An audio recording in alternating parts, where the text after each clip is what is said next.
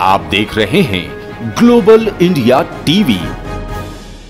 आपको बता दें, पचौरा पचघरा धाम में बालाजी के दरबार में किसी भी प्रकार की कोई समस्या हो, पंडित ऋषि कृष्ण शास्त्री जी के झाड़ने और धाम के पाँच परिक्रमा लगने से ठीक हो जाती है। यही कारण है कि दिन पे दिन अर्जियों की संख्या बढ़ती जा रही है। पचगरा धाम के तीसरे दरबार में सैकड़ों की संख्या में अपने दर्द और पीड़ा से रोते हुए आए लोगों की जब अर्जी लगी तो पंडित ऋषि कृष्ण शास्त्री जी ने बालाजी के आदेश अनुसार लोगों को उनकी समस्याओं से अवगत कराया और पूरी तरह ठीक किया। जब इस बारे में धाम पर आए लोगों से हमारे संवाददाता ने उनकी समस्या के बारे में पूछा और धाम पे आने से क्या आराम मिला तो लोगों ने क्या कहा आइए जानते हैं उनकी जुबानी। ग्लोबल टीवी के लिए टीकमगढ़ से जिला ब्यूरो दिनेश कुमार रैकवार की रिपोर्ट। नाम है आपका?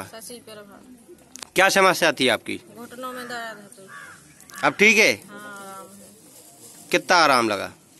मतलब काफ़ी आराम है। रोज दवाई खाती रात में उस दिन से नहीं खाई। अभी और कितने दिन आना पड़ेगा इधर? ग्यारह शनिवार कई ग्यारह मंगल। ग्यारह शनिवार ग्यारह मंगल। अच्छा बाकी स्वस्थ हो अब आपको दवाई गोली तो नहीं खाती? नहीं कुछ नहीं खाई उस दिन से। धाम के आने से पहले खाती थी? हाँ रोज खाते थे। अच्छा। नहीं खाई उस दिन से। आप? आपकी क्या समझ? हमारे घुटनों में गर्दन में और उसमें दर्द रहता था तो ग्वालियर झांसी सब जगह दिखा चुके हम। कहीं अच्छा। आराम नहीं मिला। टेबलेट रोज लेते थे। अच्छा। तो यहाँ आने के बाद मुझे पता चला कि धाम में अच्छा दरबार लग रहा है तो हमने भी सोचा चलो हमारे अगर दर्द मिट जाएगा तो इसकी को देखेंगे। तो हम यहाँ आए हमको आराम मिला। आराम मिला तो दोबारा भी आया दूसरा दरबार है जी हमारा। कोई ना टेबलेट ना कुछ भी नहीं ले रहे हैं। कितने दरबार लग चुके हैं अब दूस, दूसरा। तीसरा। लेकिन हम तो दोबारा आ रहे हैं ना। अच्छा। दूसरा दरबार है जी मेरा। लगा है तीसरा लेकिन मेरा दूसरा है। आपकी क्या समस्या थी? क्या समस्या थी? कहाँ से आई यहाँ पे पहले ये बताएँ?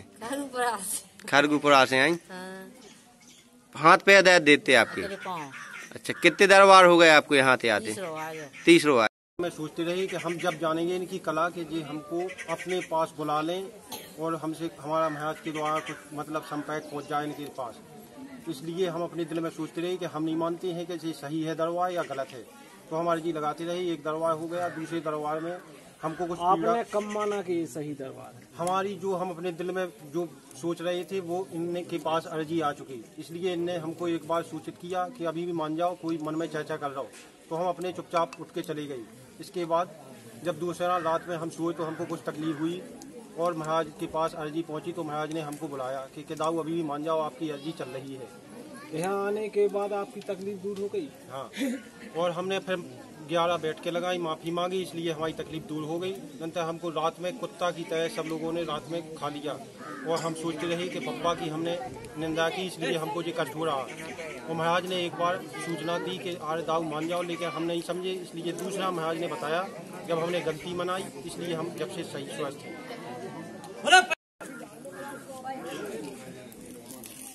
जय बालाजी सरकार महाराज। जय बालाजी सरकार की जय पचहरा धाम की।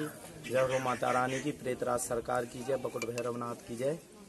क्या नाम है महाराज आपका? मेरा नाम है पंडित ऋषि कृष्ण शास्त्री। मैं मेंदवारा गाँव की हमारी जन्मभूमि है। महाराज कब से यहाँ दरबार लग रहा और कैसे आपको प्रेरणा मिली? ये तृतीय दरबार है। हनुमान जी महाराज की प्रेरणा हुई थी। और जो ये दरबार है ये बिल्कुल निःशुल्क है। किसी भी प्रकार का यहाँ शुल्क नहीं लिया जा रहा है। यहाँ तो सिर्फ़ एक ही काम है कि आप आइए अपनी अर्जी लगाइए। आपको यहाँ आराम मिलेगा। आराम मिले सो बहुत प्रेम से भगवान का। स्मरण कीजिए, इस दरबार को किसी भी प्रकार से पैसे से नहीं तोला जा रहा है इस दरबार को धर्म से तोला जा रहा है धर्म की मार्ग पे रास्ता बताया जा रहा है जो वास्तविकता हमारे क्षेत्र के परेशान है, उन सबकी कष्ट बाधा हमारे हनुमान जी महाराज जी हर रहे हैं, क्योंकि आप सबको पता है कि ये जो मंदिर है, ये बहुत प्राचीन काल स्थिति से ये पहले मंदिर के नीचे भी एक मंदिर है।